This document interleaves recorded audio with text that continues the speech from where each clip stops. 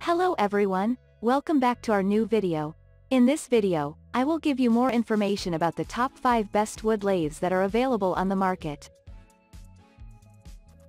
In fact I try the make acceptance, multiplication, cost, stability, user opinion etc. If you requirement more information about this products please check the link explanation below. Subscribe this channel to see more upcoming future videos. Let's starts this videos.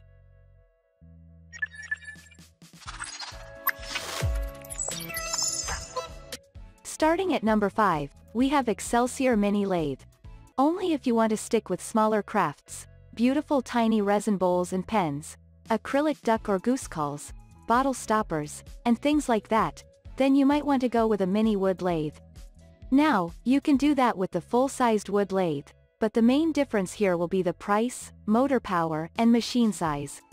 But there are up-to-scratch mini wood lathes like this robust one from the Mighty Rockler to handle small projects.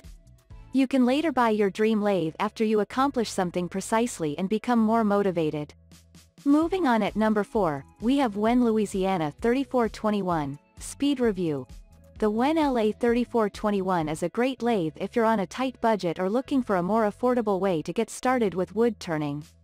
It's got many features you'd expect in a lathe twice the price, for example variable speed. The Wen 8-inch by 13-inch variable speed benchtop wood lathe features an MT1 spindle and tailstock taper to tightly grip workpieces, two tool rests to provide needed support for chisels and tools during operation, and a 3.2 amp motor to keep things turning. The easy-to-use lever clamping system makes adjustments to both the tool rest and the tailstock simple and precise. At number 3, we have Jet JWL 1440 VSK review, one good thing is that the speed dial opens and closes the driver sheave, so you don't need to move the belts to change the speeds. They could have given it 16 inches swing at least for bowl turning.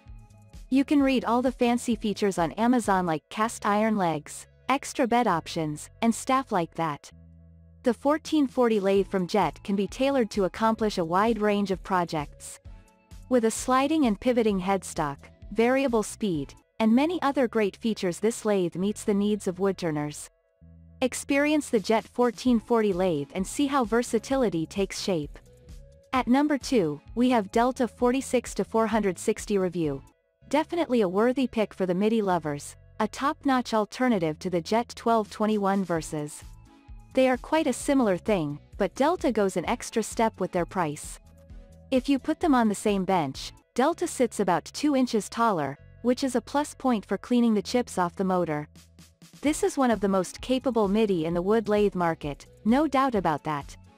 It's been serving many skill-level woodturners. So yeah, you can choose Delta 46 to 460 as an alternative to the Jet 1221 Versus. And finally at number 1. ShopFox W1704 Review. First of all, this is not something a pro turner would consider over a professional wood lathe, because of their underpowered motors. They are ideal for smaller things and always considered excellent for the entry level. Don't be so obsessed with the limitations of the ShopFox. They apply to all small lathes in this review. With 8 inches swing and 12 inches between centers, you're going to be limited with the kinds of projects you can make. But as a more experienced turner, let me tell you that it's not the size that matters. You'll get just as much satisfaction out of turning pens and rings versus table legs and large bowls.